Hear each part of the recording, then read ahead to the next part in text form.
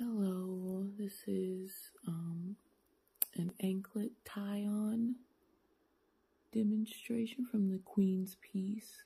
This is, uh, we have two pieces of rainbow moonstone and a piece of labradorite, labradorite in the center of them. And this design here that's going to be available soon on my store, on the Miiriya app. And here we go. Alright, so I have these slip knots. Well, I'll show you in just a moment. Um, so you want to take it and decide, you know, what part of your ankle you want it on. And I'm going to put it here. And so I don't want to do it too tight or anything. Just kind of make sure the beads are you know, staying group together so you don't have spaces on your string. Okay, hold up, sorry. Okay. So then we go, I think, cool with it fitting like this. It's a little tight actually, or a little snug, and a little bit more. Okay. And so from here, gonna hold that there. I'm gonna grab one bead. You see this little, it's called an anchor bead at the end of one of your loops here, which is also known as a slip knot, because you can slip right out of it. And then we're gonna do that with the second one.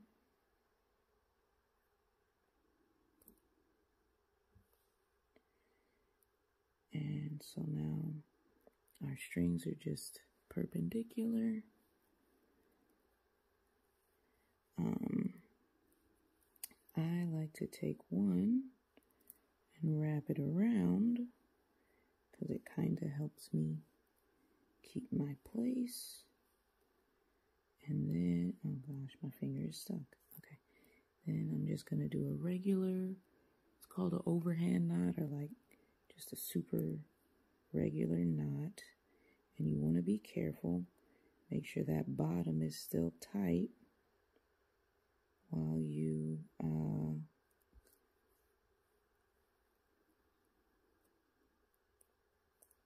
make sure your original piece there is tight so that when you get closer, I just like to keep my, oh, okay. I keep my finger there as like a placeholder um, and I'll make another video because this was kind of quick. But um, really with this string that I have here, it's a nylon blend. And you don't want to burn it. It's not going, it's just going to break. Um, it's not what you want to do. And I just made one knot. Really, this, oh, haha, just kidding. We're not done. okay, I think Cool. So we got one. We're good. We're snug. I'm just going to even show you we got no gaps in our beads. All right. So we did one regular knot. I'm going to do another regular overhand, very simple knot. Now I don't have to keep my finger as a placeholder because you know, it's already, um, it wasn't locked in, but it was pretty snug at that point. And now it's locked in, to be quite honest. Yeah, it's not gonna, it's not going anywhere. You see, I'm pulling. I'm trying, oh, oh, it went somewhere. All right, and so that means we need another knot. So I did two regular overhand knots. Now we're doing another um, well, I'm sorry, not another, but we're doing one. It's called a figure eight knot. And so you just take it, take my finger, come into the string here, twist my finger around, and then open that gap, open the circle that my finger created, stick both ends through there. Just gonna kind of pinch the original knot just so I can get as close as possible to it. Mm. I got new glasses coming, y'all. I can't see too good. But I got this. But okay. Pulling that This string, the string itself is strong. Like, I don't have any doubts about the strength of the string. But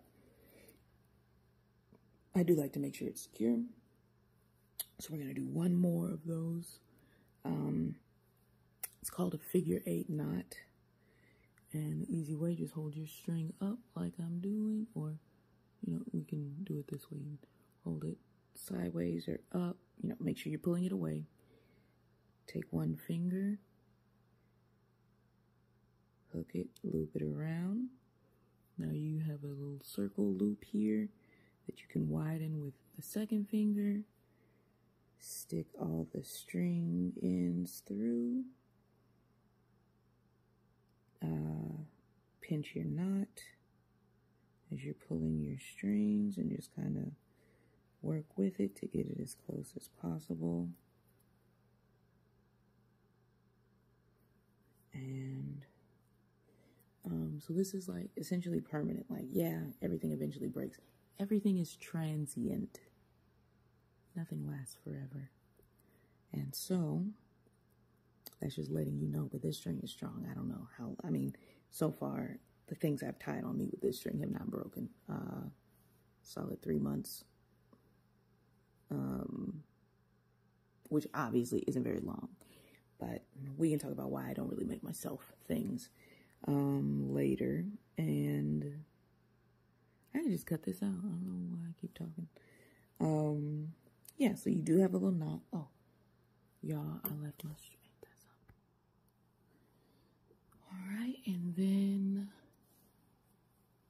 you're gonna take your scissors and just cut. Obviously, don't cut the knot. Just cut. Uh, leave a couple millimeters of string end.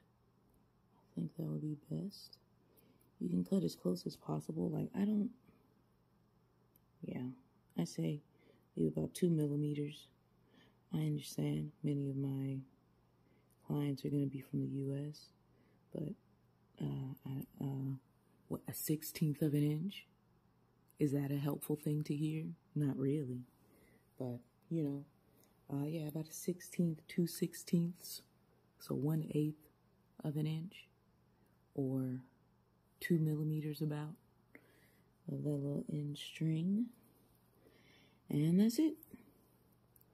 And look at you, looking cute. And then you got a little knot here, but who cares? Who's going to pay attention to it? Uh, I prefer to use brown, um, a shade of brown string, but this particular string that I got that I'm trying out, all they had was like rainbow color at the moment. So I got rainbow color.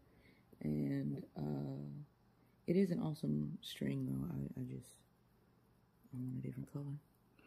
All right, thank you so much. I hope you enjoy your anklets and waist beads and life, peace, happiness, and whatnot.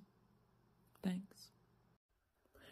Just kidding, I forgot to do the strength strength test. I was going to say strength training test.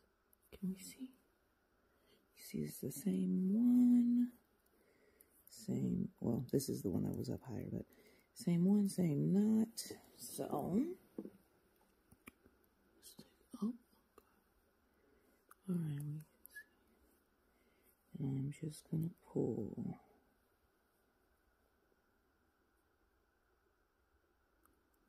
I'm pulling. I don't know how to prove I'm pulling. And no, I'm not pulling like with all of my strength. But like, look at my hands flex. You see my hand muscles flexing. Oh wait, you can. It doesn't, Sorry. Uh, yeah, just proving that uh, going to last for a moment.